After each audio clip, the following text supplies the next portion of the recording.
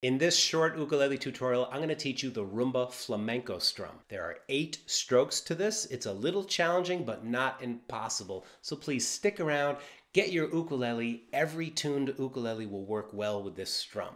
Let's jump in. This is what it sounds like. One, two, three, four.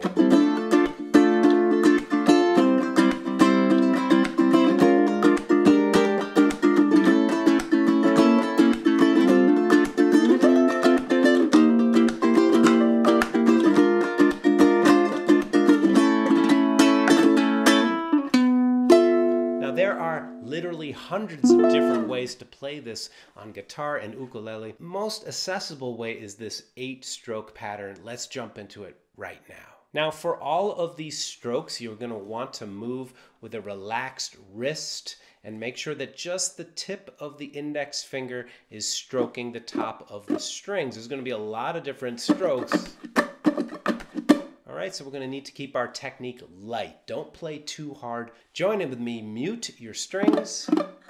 The first four strokes go like this.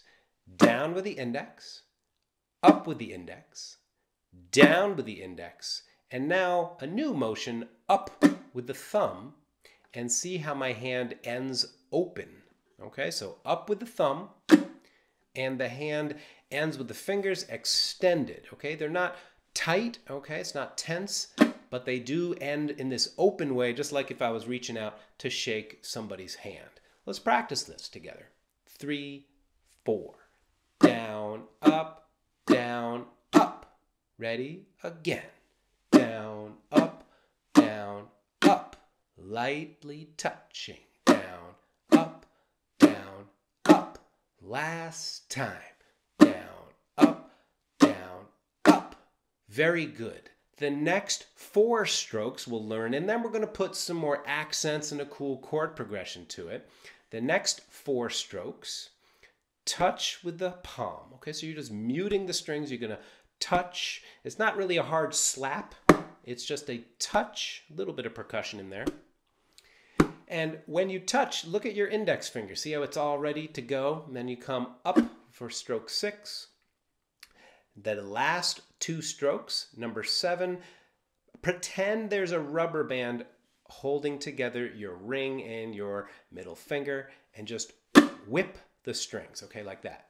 whip them. It's like you pretend you dip your finger in some water and you're just shaking the water off. The motion is from the wrist. Okay. The last stroke, number eight, is up with the index. Now later we're gonna we're gonna find out that you can actually leave that last stroke out to create some variations, but for now let's leave it in. Let's practice these first eight strokes. Thanks for hanging. Here we go. One, two, three, four, five, six, seven, eight. One, two, three, four, five, six, seven, eight. One, two, three, four, seven, eight.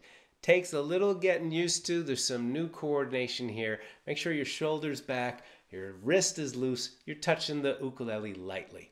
Now we're going to learn some accent patterns to make it to really groove. Before we get into that and the chord progression, if you're digging this so far, please give it a thumbs up. Appreciate it if you share this video with your friends and make sure you subscribe to the channel Ukulele Zen. I have a ton of video content for you to help your music grow and to make your practice into a peaceful oasis that you can come to anytime. And now it's time for the accents. We're going to strum a little harder on the accents, softer on everything else. The accents fall on one, two, three, on four, five, six, seven, eight. Okay, so on one, on four, and then on seven. Together with me. Here we go. One, two, three, four, five, six, seven, eight. One, two, three, four, five, six, seven, eight. What it starts to sound like as you pick up the tempo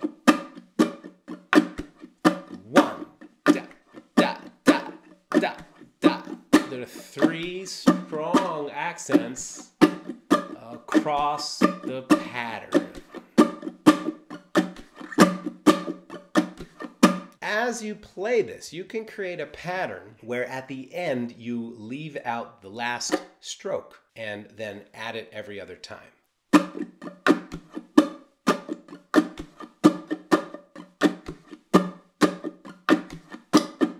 Right, we're just keeping it slow right here, but can you hear how it starts to take on da, da, da, three strong strokes. There's also a wonderful dance that the hand does quite naturally as you get loose. See how my hand moves a little back and forth. All right, my thumb just kind of catches a little bit of the uh, neck.